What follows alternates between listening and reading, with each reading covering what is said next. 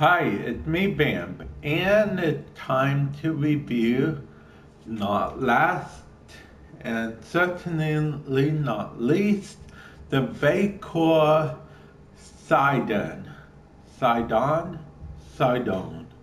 Sydon. Let's call it Sydon. Okay. So, first of all, let's read the description. Justice blinds.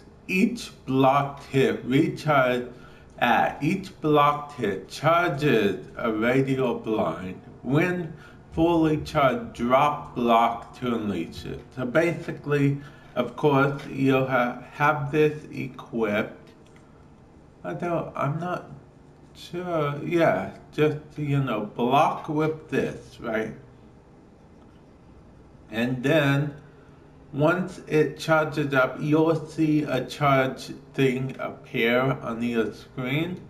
Once it gets to 15, then just let go of block and um, your warframe will lift up the um, melee weapon a bit.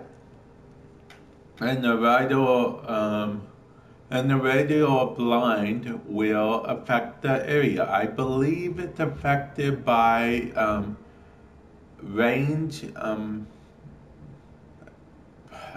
power range, not power range.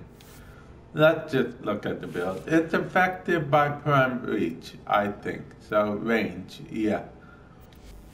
Now, let's compare it to the regular Sydon, Sydon, whatever. As we can see, it is a direct upgrade. Now,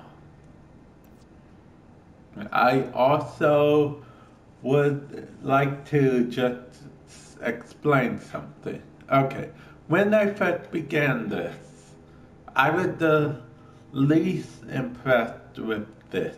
The sound of it did not sound that good at all. I mean, Loki has uh, something that makes it so nobody can use guns. Um, so does Nyx, I suppose. And of course, Excalibur has uh, this exact thing, a radial blind. And then Inaros has his pocket sand thing that, you know, stuns all the enemy. So I was thinking, ah, what's the point in this?